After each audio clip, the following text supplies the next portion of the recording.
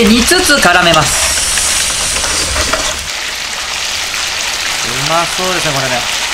おいおいみんなどうした？俺のことを付け合わせのミックスベジタブルを見るような目で見やがって。忘れちまったのか。俺だよ。ハンバーグだよ。はいということでですね今回は生姜入りを作っていきます今回はね至高の生姜焼きっていうのを作っていきたいんですけども材料説明なんですけどもちょっと今回割と本気で作ります。お肉生姜焼き用の豚肉を使ってください。でこの生姜焼きの豚肉っていうのはこういう感じのロースの薄切りなんですけどもそこまで薄くない。しゃぶしゃぶよりは薄くないやつですね。はい、えー、ロースの薄切りをこれ 200g ですね。キャベツは付け合わせで使いますんでキャベツは切って、えー、千切りにしておいてください。キャベツ必須ですから。これ必ずつけてください。生姜なんですけどもこれですね。はい。これで国産なんですよ。で生姜は国産を使ってください。なぜかというと国産と中国産とかはちょっとね香りが違うんです。僕ねあんまり言いたくないです。国産がいいとか外国産がいいとかっていうのはあんまり言いたくないんですけどもすいません。あの国産の生姜と中国産の生姜だとあまりにも違うのでこれは国産を使ってください。ちょっとだけ割高ですけどそこまで、え値段に差はないので、え国産の選んでください。はいそれではですね、えー、早速作っていきたいと思います。これね生姜焼きなんですけどもちょ皆さんの知ってる生姜焼きとはちょっと違うかもしれないです。今回の生姜焼きは、えー、まずですね玉ねぎ入れません。生姜ねまず切っていくんですけども生姜もね切り方がねちょっとあります、えー、このね半分。大体これぐらいで半分かな。半分を薄切りにしてから、えーと、千切りにします。はい、えー、この千切りがですね僕の観点からなんですけど生姜って千切りが一番香りが出る。んですこれを半分使っていってもう半分なんですよ。これをおろしていきます。これはねこんな感じでねおろしていきます。これはねソースにね混ぜ込んでいきますので生姜の香りをねソースにも移していきます。千切りは直接口に運ぶようですので、ね、この生姜のダブル使いがこの至高のなんだっけハンバーグのあハンバーグじゃねえ、えー、生姜焼きのあれになってます。こんな感じですね。これはですね一緒に持っちゃって大丈夫です。入れるタイミング一緒ですのででお肉なんですけども、えー、軽くね片面だけで結構です。軽く塩してください。片面だけ。これだけね薄いとね片面だけで全然平気です。であと胡椒です。振ってあげてください。これ軽くね。はいそうしましたらここにですね小麦粉。小麦粉をね使うことによってねロース肉がすごくね柔らかくなるんです。なぜ小麦粉を振ると柔らかくなるかっていうと小麦粉がですね、えーと、肉の水分をね逃さないような働きをしてくれるんですね。なのでですね肉がすごくねジューシーに仕上がるんです。これ食べてみれば分かります。やばい。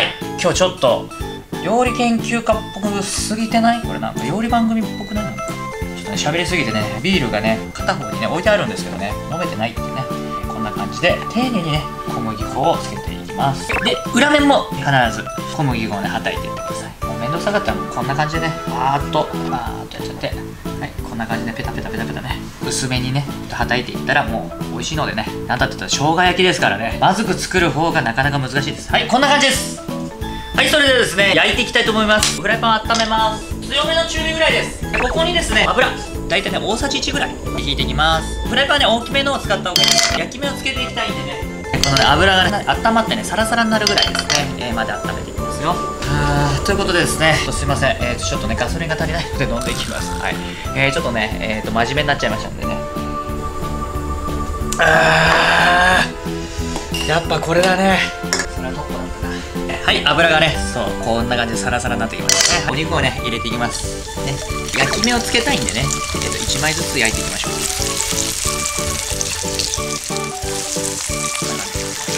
今回ね6枚あるんでちょっとね1枚ずつ焼いていきます。薄い肉ですので、えー、強火で、えー、やっていきます。こんな感じでね焦げ目が軽くつくまで水が縮んでくるとね、スペースができますまあ、なんか筋切りした方がいいっていうのもあるんですけどもいいです。あの食べた時にこれぐらい薄いとあんまり関係ないです。軽く焦げ目がつくまで焼いていきます。いいですね。あいいですね。こんな感じこんな感じ、はい、こんな感じの焦げ目いいですね。こういうこういうことです。これぐらいの、ね、これぐらいのね焦げ目がねすごくいい。ですね今回ね少しね油が出ちゃったので油を取っていきます。こんな感じで油を。この中でやるときはねさっき大さじ1ぐらいって言ったけど大さじ2ぐらいでもいい。油はね大さじ1ぐらいだったら残してください。そうしましたらですね、火を少し弱めます。ここにね、タレをね、タレを作っていきます。まずお酒です。大さじ2です。みりんです。小さじ2です。あと、お醤油ですね。お醤油が大さじ1と半分ですね。あとお砂糖です。小さじ1入れます。で、味の素、1、2、3、4振りですね。でここでちょっとねこう軽くね煮詰めながらもう生姜を入れていきます。おろし生姜と千切り生姜。両方です。両方入れていきます、はい、で煮つつ絡めます。この時の加減は、まあ、弱中火ぐらいでですね大丈夫です。慣れてる方はもうちょっと強い、え火で大丈夫ですけども。もうねこのね香りですよ。香り。香り。うまそうですねこれね。こんな感じでねタレがねジュクジュクして、えー、肉に絡まるような感じになったらもうこれで完成です。あのね動画にはそこまで火入れないと大丈夫です。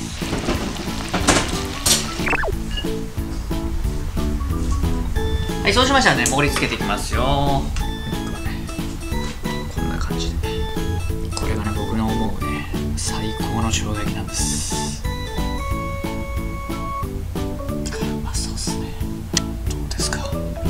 肉のカーテン。でね最後にねこのねおろし生姜と千切り生姜がですねたっぷり効いたこのタレをかけていきます。ちゃいますねこれね。はいそれではこちらですね。至高の生姜焼きの完成でございます。どうですか。いやこれはねマジでうまくできました。はいそれではですねできましたので食べていきたいと思います今日はねてか今日もねこいつでやっていきたいと思います。いただきます。ああこいつは至高だわ。ということですね。食べていきたいと思いますね。これはいい色ですね。いただきます。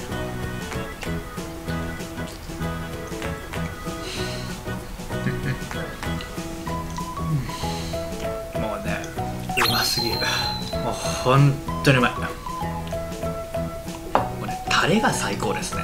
キャベツ？ちょっとね濃いめのタレ作ってありますのでキャベツもねがっちりいけるんですよ。ギャッチリ。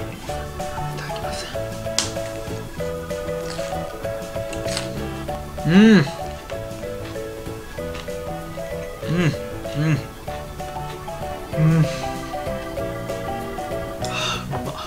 これねお肉タレの方がねほんと重要なんですけどお肉はねこの一枚肉でやってるんですけどもこれもねスーパーによって結構違いがあるんですけども若干ね厚みのあるお肉の方があの美味しいです。でもね小麦粉効果だと思うんですけどもパサつきがないですね。でねあのタレもすごくいい感じにとろみがついてて非常に美味しいです。非常に肉全体にタレが絡んでる。これなんですよ。そしてね生姜の香りがねこのダブル使いのおかげですっごい香るんですよ、ね、これね生姜ケチんないでください。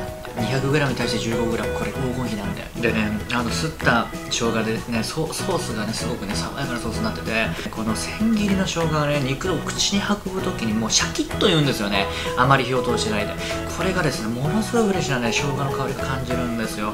これはね生姜好きには本当にたまりません。これは本当にうまいもうこれ以上の生姜焼きもね食べたことはないです。で今回はねこの一枚肉でやったんですけどもあの例えばねもう少し熱いとんかつ用とかでも全然大丈夫なんですね。とんかつ用のでもソテーする時間をですね調整すればすっごくね美味しいとんかつ肉でやったらポークジンジャーみたいな感じになりますね。でやってもねすごく美味しいのでこれはねこれやった方がいいです。本当に。このね肉ものやり方もそうなんですけどもタレがねこれ絶品です。このね黄金比ぜひね皆さんね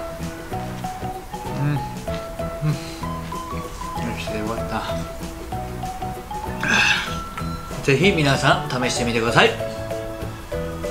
ということでですね今回の動画面白そうだなとか美味しそうだなとかなんかやってみたいなとか思った方はぜひですねチャンネル登録をよろしくお願いします。